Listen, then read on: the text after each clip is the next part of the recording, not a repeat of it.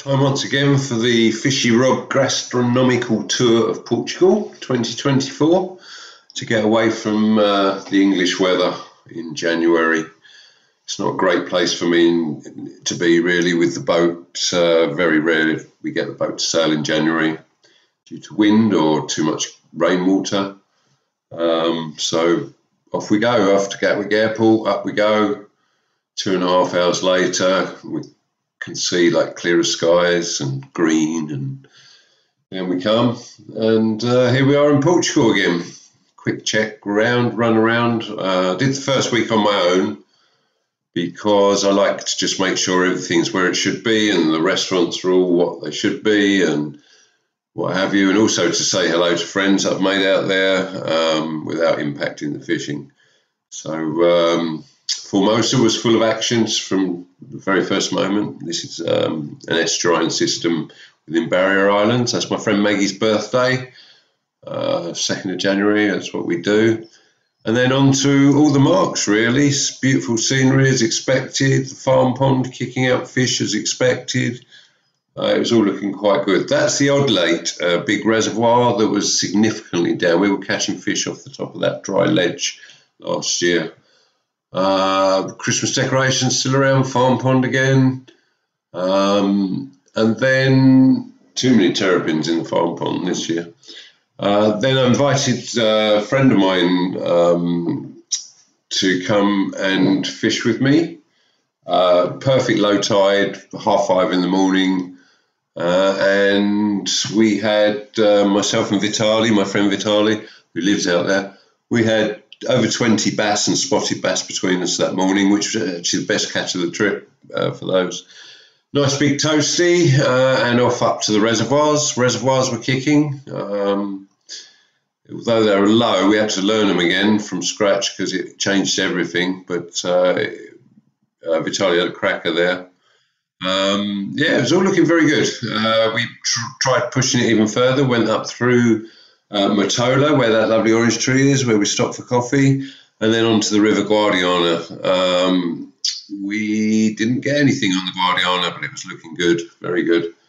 Um, eagles were there. It's always nice to see the eagles. Uh, worth it to go up there all the way up there just for those, really. Um, I think the golden eagles. There's a little bit of, I don't know, I'm not an expert. Uh, that was it with Vitali, but then I still had another day on my own where I hit the reservoirs and found some nice black bass in the reservoirs. Um, yeah, I was really happy with the way it was going. And then we welcomed uh, John, who was my first guest, and he arrived on the Tuesday. He was running Tuesday to Monday, thanks to EasyJet changing their flight plans. Uh, they know they decided to not run um, Tuesday Tuesday or Wednesday Wednesday flights. Uh, after I booked it all. Uh, he lost a day for that. Um, first day, we went up to the river again. John's been here before, fished it before, loves it. Um, that was the wagon for the week, a Dacia Duster. Wasn't the four-wheel drive I was hoping, but it was an SUV, so it had good ground, good ground clearance, and it was fine. Eagles again. Uh, I had to trim eagles out of this video. It would mostly be eagles because uh, they were so reliable this trip. Uh, other than uh, once the rains came, that changed everything, even for eagles. We didn't see them once the uh, big storm came, which was towards a few, few days on yet. Um, so what did we do? Didn't do so well there. I think this was against us as well. The, the bright sun, uh, very clear water as you can see there. Um, it's not conducive to good zander. And the barbel were just hiding. Uh, didn't see a barbel trip. Well, actually did see barbel. Didn't hook any barbel all trip. Uh, but that wasn't a big deal because on the way back we dropped off to Rio, uh, Real, Villa Real del San Antonio, uh, town down on the border, on the mouth of the Guadiana, where the mullet are very reliable if you've got the settled weather, and you can see how clear the water is there, lovely blue water. Uh, this is an estuarine system. Uh, and the mullet were there and very reliable. They were feeding hard on the little shrimps, and uh, John ran a small brown shrimp imitation and bagged one straight away, about second cast. Um, he then sadly rolled on a stone and fell and smashed his knee very hard, and it caused complications, uh, which had implications for the rest of the trip. We bandaged it up, iodined it, infection, no problem, but it actually was a deep wound that carried on bleeding. That was a lunch there in the Italian Cafe just opposite the guest house. Then onto the reservoirs where we did actually catch black bass. Uh, quite, they were still feeding quite happily. Hadn't had the big rain yet, not the big rain. Um, that was surf and turf at Pitao, uh, Pitao Bakes Demar, a lovely restaurant. Uh, always quality, good prices. And then it was boat trip day. Um, the first boat trip day with John, it was it was all right. It wasn't amazing. Cuttlefish there on the lure, um, comber on the lure. We didn't catch so much cast in the lure, so I started drop shotting them. Me and John, we started drop shotting them. Um, Neil there, he was on the baits. He had various little breams. Uh, his skipper Paolo with an octopus. Uh, there was, I think we counted 14 different species on the baits and what have you, but for on the lures, it wasn't so exciting that trip. Um, but uh, we went out again later in this uh, month and it was much better. There's a greater weaver for John actually on the lures. Uh, I think it was a little couch's bream there for Neil on the baits. Uh, and that was monkfish kebab. Oh, so good at G&O. Uh, which we had afterwards. Next day, we was off to a place called Lagos, about an hour's drive west. I uh, went to meet former charter Newhaven charter skipper Frank Shaw, uh, who was down there with his caravan, and we had a look at the estuary there. That's a shoal bass in the marina where we sat and drank very expensive coffee. Um, yeah, I w- I won't be rushing back. The, the estuary itself screamed fish. Uh, looked very, very good indeed, but it also had lots of go, don't fish signs that perhaps we shouldn't have fished, but we had a little quick go. But a lot of weed. Um, there's the dog Waffy, Frank's dog Waffy, uh, lovely dog there. And there's Frank himself, uh, head buried in his phone. I think he was looking at weather reports. Uh, so back to Olhão, lovely sunset, uh, classic tourist shot that one. And then we have had a go on the early flood at night, um, we, where we caught a nasty sculpins, we caught spotted bass, uh, we caught regular bass, um, new girlfriend. Uh, and the next day up, we had a look at the Beliche Reservoir, and this is a spot where we were launching boats two years ago. And it's dry. I mean, it's just a little river running through it, but there's no reservoir there anymore. Um, we did try another spot on the Beliche, but it was uh, nothing doing. weren't feeling it. Went back to the old lady and caught some bass, um, black bass, uh, chunkers as well. Um, steep, slightly scary access in, in parts. Um, yeah, need to keep an eye with that. Um, having said that, we did find some better accesses later in the time lovely um, Estrella Galicia that they serve in the Italian cafe right outside the uh, guest house.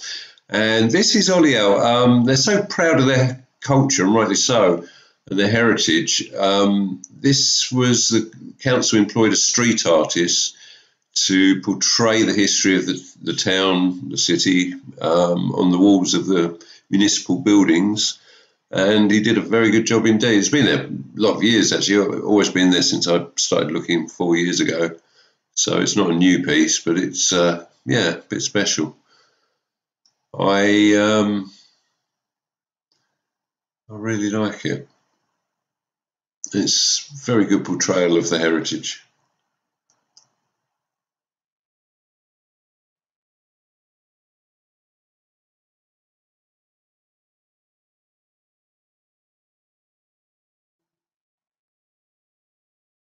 Strong carts the lot.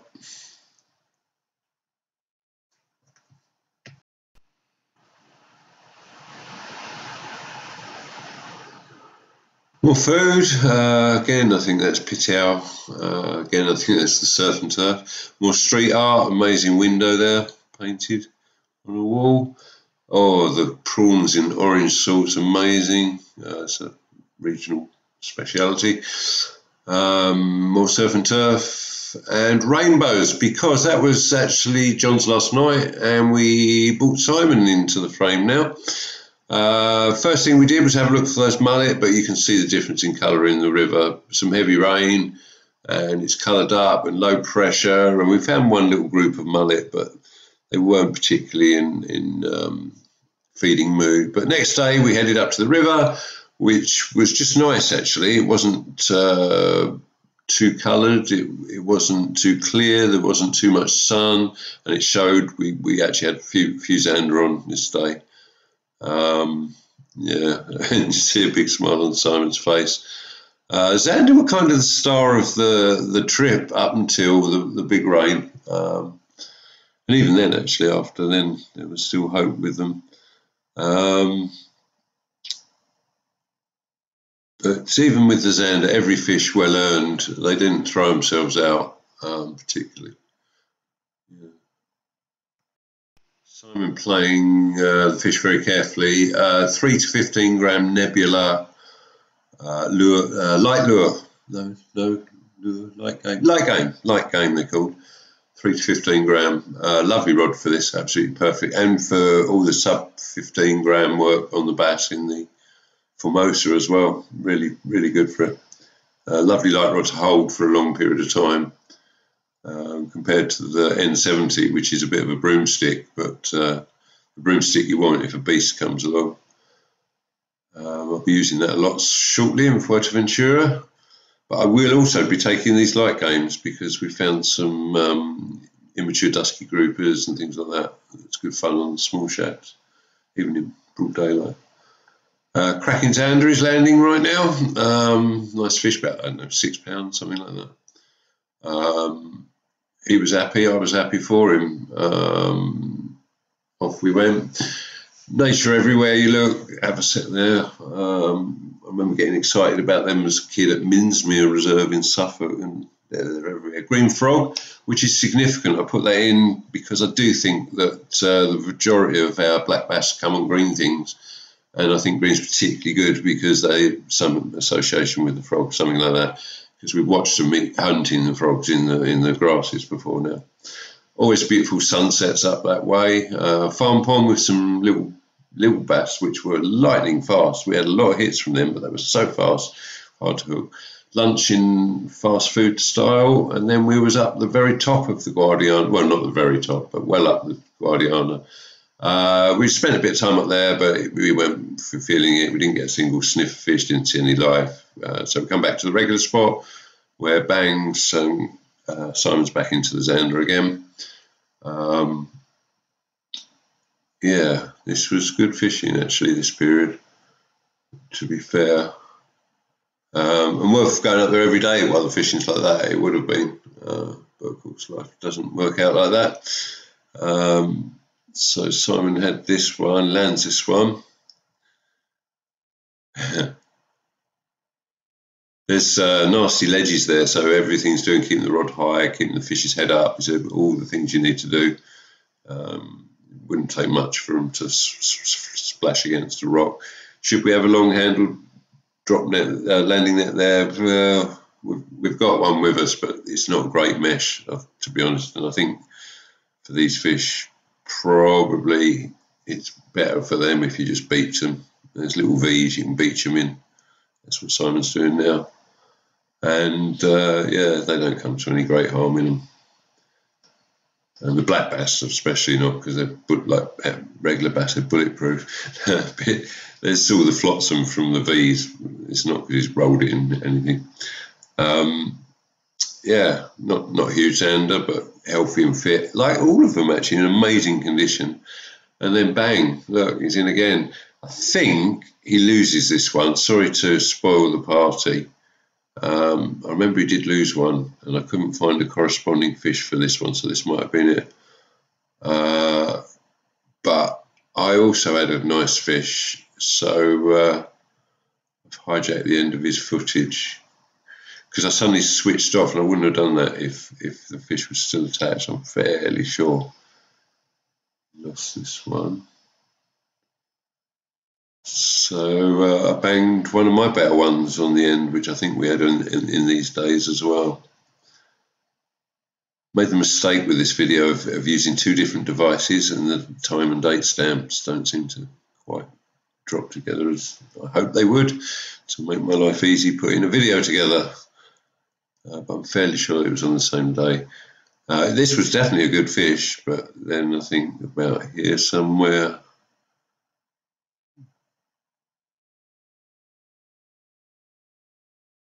Hmm. Yeah, so there's one of mine. Good one, that one as well. Proper chunk, really heavy. Back on the reservoir next day, back on the black bass. Uh, he got one on a fly, Simon. He did very well with that. Got one on the fly with um, a booby and a fast sink line and short leader. Uh, that's a barbel in front of me coming along too. I saw this day with the bright sun. Um, and the reservoir hadn't. Oh, of course, we haven't had the rain yet. No, of course, yeah. This is all everything looking really good, like looking really good. Um,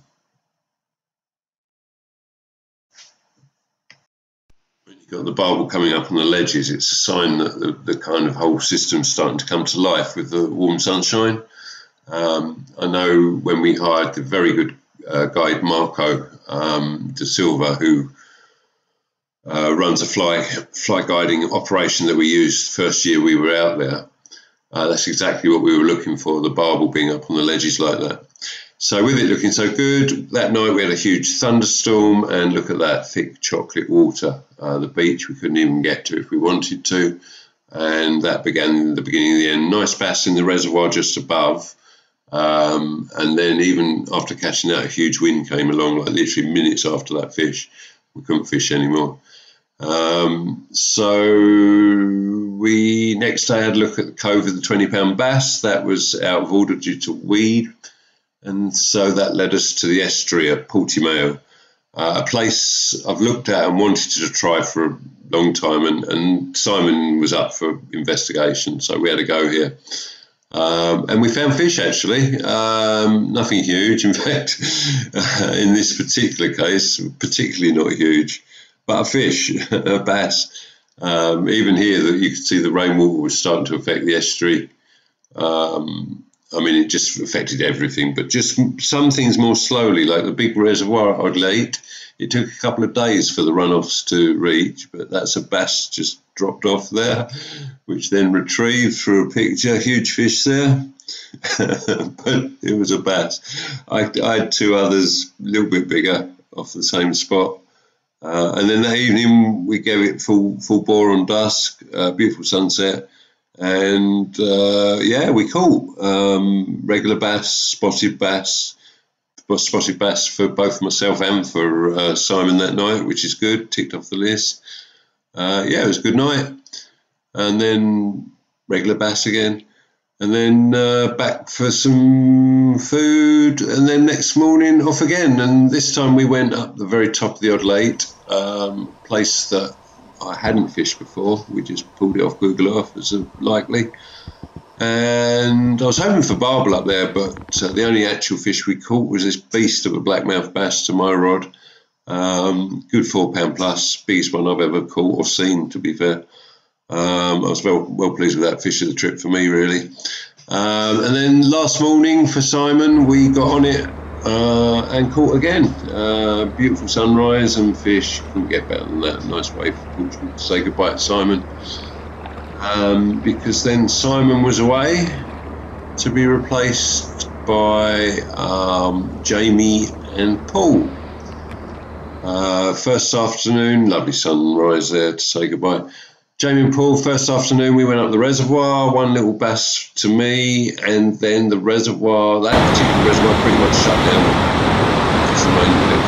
Had a look at the next day, had a look at the cove of the 20 pound bass, which as you can see was absolutely unfishable with swell and weed. So, um, stunning to see, but no good for fishing. Uh, so again, we moved on. We went to, back to the estuary of Portimao because it was up that way.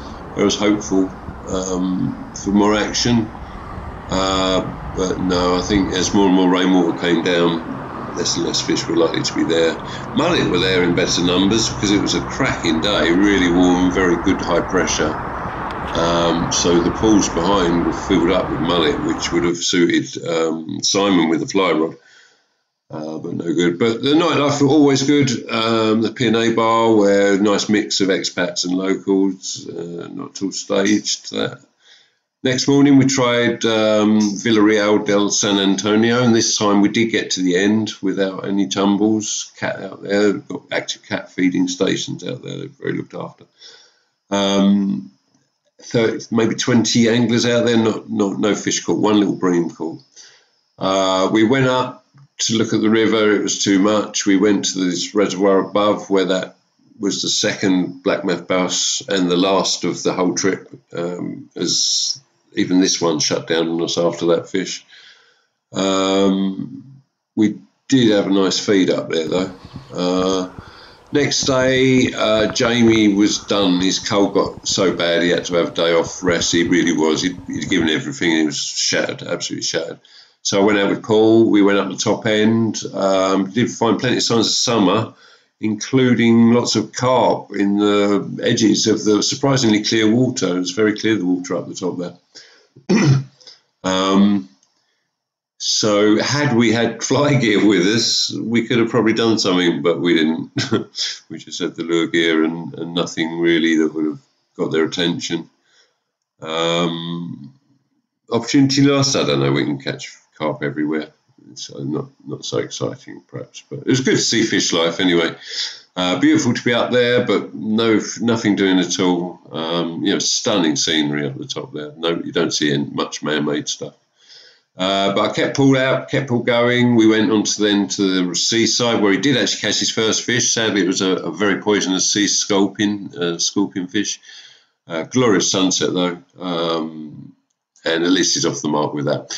Next day, Jamie was much better, uh, much recovered for this rest. Um, it was boat day, and this boat day he became the superstar. Actually, he he stole the show. Uh, there's Paul unhooking first of many comber or redfish as we were calling them. There's Paolo the skipper with a small couch's bream.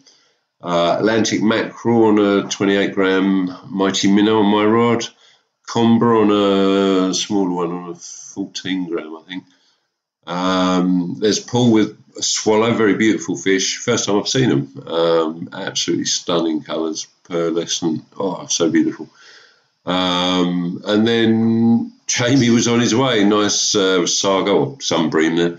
Uh, then on to the swallows. Uh, then I managed uh, a male Dentex, and the very next cast I got the female, perhaps of the same pair. Um, and then I actually got hit probably about another eight, um, which destroyed my lures.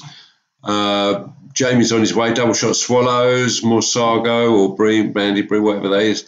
Uh, he then had a double shot of male Dentex, which is amazing. Um, and then this, his main event was this great big grey triggerfish, uh, stunning fish. So, uh, yeah, he happily he got some cracking fish on the trip um, because it, uh, close to shore it had gone absolutely rock hard um, and, and, remained rock hard really for the rest of the day. Um, we had uh, cracking lunch when we got back at the GNO. Guess what? It was monkfish kebabs again. Uh, I just can't be off them. They're so good. Um, that night, though, we went out for dinner at Otasco, which is just out the back, over towards the Marina Village side of uh, Olhão amazing to that. Ch- chili squid was stunning. The tuna tataki there was stunning. Uh, the steaks were good. Uh, the chips, well, could do better, but they were edible. I won't knock them too hard. Uh, but everything else was absolutely amazing. Um, really, really good. Uh, always beautiful sunsets up there as well. Uh, I worked the reservoirs to death with the guys, um, but we didn't catch any more. We saw things. though. there's, I think this is smooth snake actually in the end what we're seeing here. Um, it just was there running, going across the path, and then it knew where it was off to, so it went. Nothing dangerous about it, I don't think. Uh, good to see. Um, that night we had the Octopus Cataplana, which uh, in the uh, Frango del Cidado. Uh, out again, stunning sunset, I think we didn't do so good that night. Uh, oh, no, we did actually. No, I say we did. No, no, Paul did. Paul's really getting the hang of the bass now, especially the finger, and he's picking up those taps that there suddenly weren't so many of. and he did actually manage one. Um, next night we tried the same event, but uh, there was a club outing on the on the mark, so we just went out for dinner that night, where we experienced the uh, Portuguese sausage, uh, a flambe experience to behold. Wow. Tell me if I'm a A lot of fun, actually. Wow. This is a show.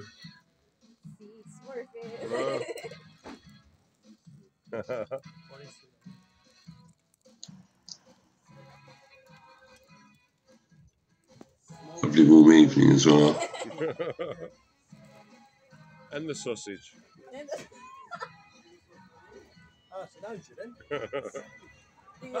Unlike the next morning, which was absolutely freezing. Uh, well, not freezing, but we did record temperatures as low as six degrees on the journey up to this spot, uh, which was back to the river. We thought we'd have a look. A week now since the big rain. Um, and the river actually was quite low. I would call it low, but the colour was still there. I wasn't holding out too much hope. Put the guys on the Zander hole where the dead water is. I fished the fast water hoping for that barbel that we haven't seen all trip. And of course, um, there's a cichlid that uh, Jamie found washed up. Of course, the one zander that did get hooked was sitting in the fast water and it caught to my line and it was an absolute belter again. Another one like heading towards double figures. Um, just absolutely stunning fish in prime condition, absolutely prime condition. Uh, I was lucky. Uh, straight away, I swapped the guys, but that was it, the only fish. But uh, we did get up to the restaurant, uh, which was stunning, and the beer was sold, served in frozen glasses, which made Paul a very happy man. Um, you can actually see contentment there. And we all celebrated that night, uh, including my friend Maggie. We invited, or I invited out, and so much so that we lost the next day. But that gave us just the last evening back to the bass mark uh, in the Formosa for the last evening. Uh, I had a spotted bass, and Paul nailed once again. He nailed uh, quite a tidy bass, um, all off the finger. So he, has got the hang of that. One major benefit of the tour. And then it was off to say goodbye to friends, old and new. This one very new, just turned up on the street. Um, clearly someone owned the dog. It was very looked after and it wasn't in any panic. And then that's it. Back to Blighty. End of the tour. Uh, once again, very hard fishing. Every fish earned. Weather did mess it up unexpectedly. But are we doing it all again? I think everyone's rebooked. Uh, more on that soon.